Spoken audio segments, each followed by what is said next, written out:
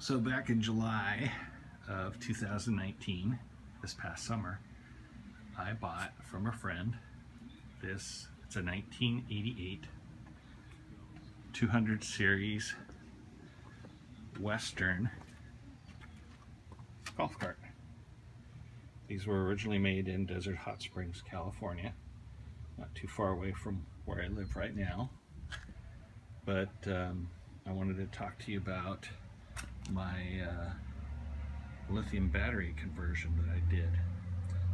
And um, I got the cart. The original owner wanted to sell it. They, she had replaced the batteries and she didn't charge them for two years. So the batteries weren't that great.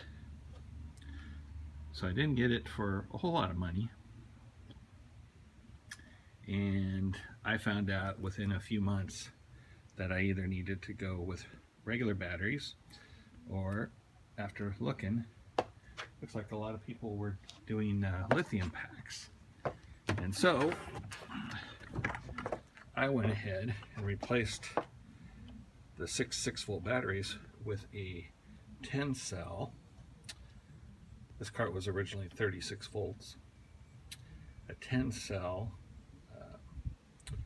lithium battery pack, which ranges from about 36 volts up to, I think it's about 41 or 42.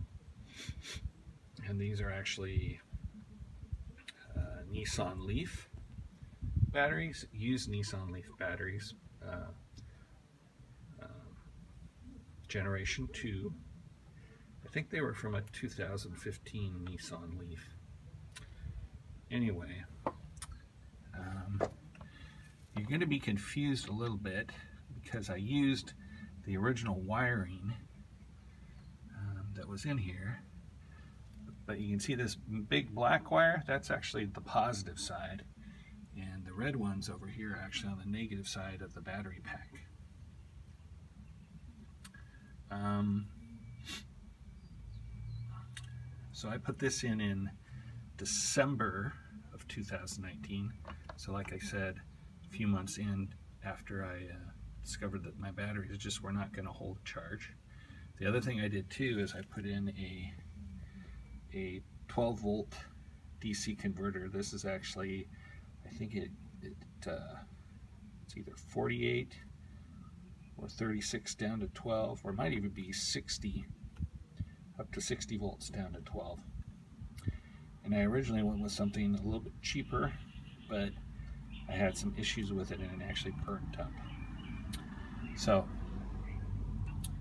um, we're in April and I've had a devil of a time um, keeping this uh, over here. This this is part of the accessories right here. Hold on a second here. And pull this up here.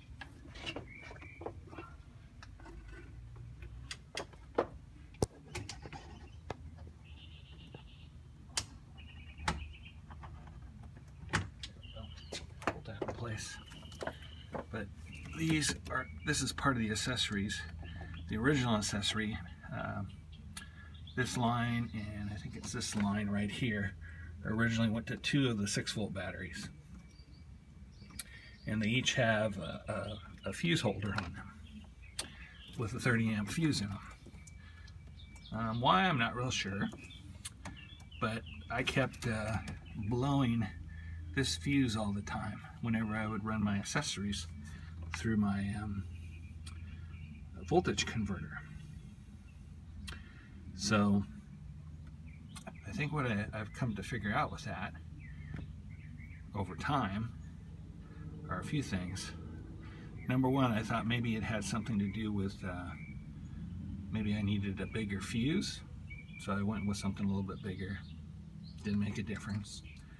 Um, I thought maybe if I put in a switch to shut the converter off, which I did, I put one up here on the dash.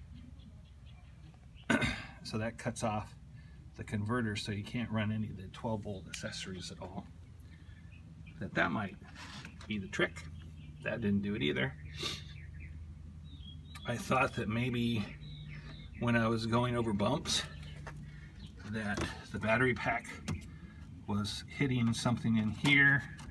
Other wires or something shorting out against the side so I put some plastic plexi plates on this side and I also put them I don't know if you can see it over here I'm reaching over over on this side as well but that didn't make a difference either.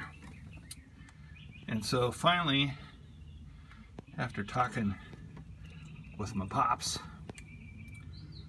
I determined that maybe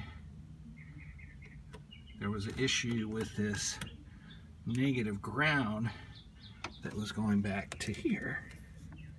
And I think this is some kind of a, oh, what do you call it? A, um, shoot. Circuit breaker of some sort. And so I finally got around, and this wasn't very long ago, just a few weeks ago, I finally got around to uh, testing the ground, the continuity from here back over to the negative side of the battery, and there wasn't any there. So I'm guessing that circuit breaker was bad. So I just decided to run a ground from here down to a different part on the frame, right there, and I know some of you are going to say, well, that should be black, but I only had red, so. And then I also decided at the same time to get another fuse holder, run two in parallel, so it would increase the amperage. And ever since I've done that, knock on wood, I have not blown a fuse. So I'm hoping that solves the problem.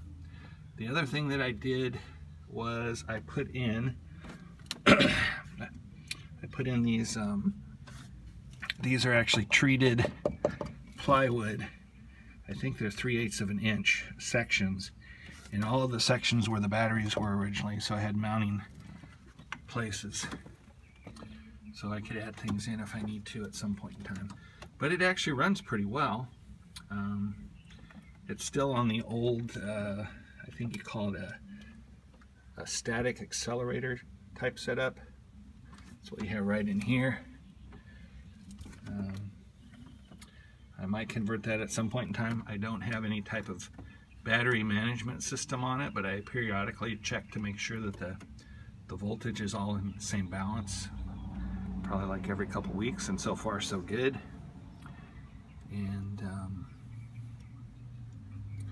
it goes a lot faster clocked it at about 17 miles per hour.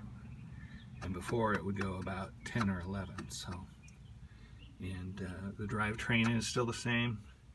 Everything else is still the same.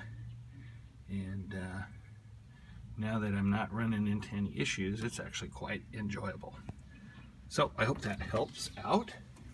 Um, I would recommend doing this to anybody if you have a little bit of know-how, you don't need to have a lot, and just be patient with it, and eventually um, you can get it to work too. But again, I think the key to keeping that fuse from popping was making sure that this ground here was good back to the battery. So I hope that may alleviate anybody else that is thinking of doing this headache-wise.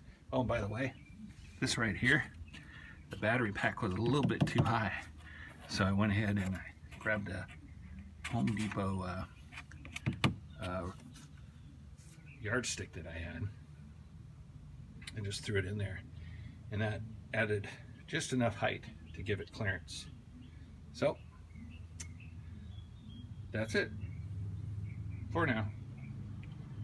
Uh, if you have any questions, feel free. Thanks.